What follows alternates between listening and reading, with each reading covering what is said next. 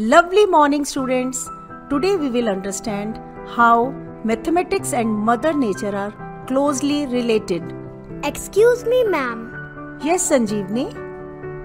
In maths, we learn about numbers. So, how can we relate it with nature?